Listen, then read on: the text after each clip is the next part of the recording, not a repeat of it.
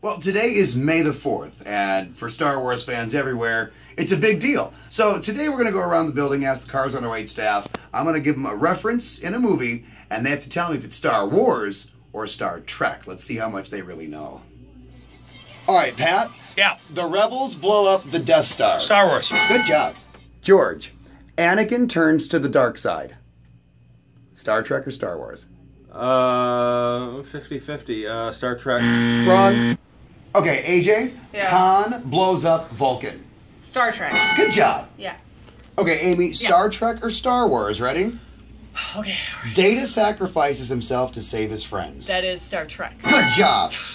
Princess Leia strangles Jabba the Hutt. Star Wars. Good job. Darth Vader reveals that he's Luke's father. Star Wars. Good job. The Borg begin to assimilate the Enterprise. Star Trek. Yeah. Duh. Obi-Wan mm-hmm. is killed by Vader. Star Wars. Dang, good job. Peter's knowledge of Picard's flute allows him to win the battle. What? Peter's Peter. knowledge of Picard's flute allows him to win the battle. That's battle. Family Guy. you got it! Oh my gosh, you got it! Cars 108.